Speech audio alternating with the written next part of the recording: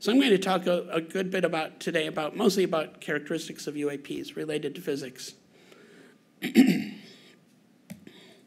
we have the from the AATIP program, we have the five observables, five plus one really. Um, positive lift, sudden and instantaneous acceleration, hypersonic velocity without signatures, transmedium travel, low observability or cloaking, and biological effects. And I'm going to start out by talking about pretty much the first three all in one shot.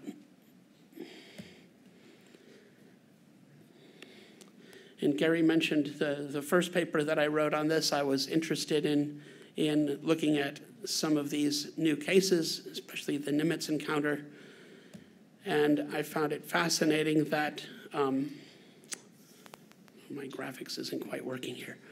Um, I found it fascinating that these things were, uh, these tic tac shaped objects were observed to drop from about 28,000 feet to sea level in 0.78 seconds.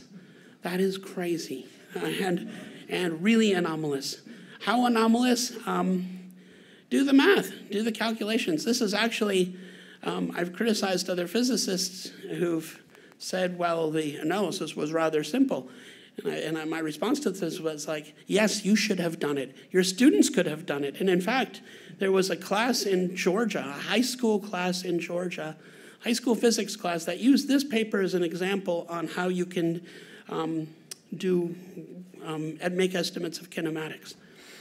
Uh, so if you if you um, look at this, you can estimate the minimum acceleration, which comes about from the object would have accelerated halfway and then decelerated the other half of the way. That gives you a, a lower bound for the acceleration, which comes out to be around 5,000 Gs, 5,000 times the acceleration of gravity.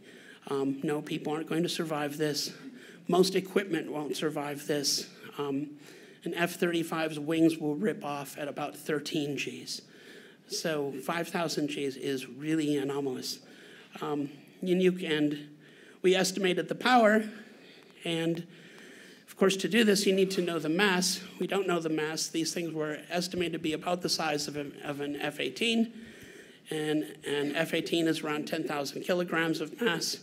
We decided let's take a much lower bound, let's take one tenth of that. So we just assuming that this was maybe one tenth of the mass of an F 18, you come out to a power that you can't read under there easily of um, 1,100 gigawatts of power.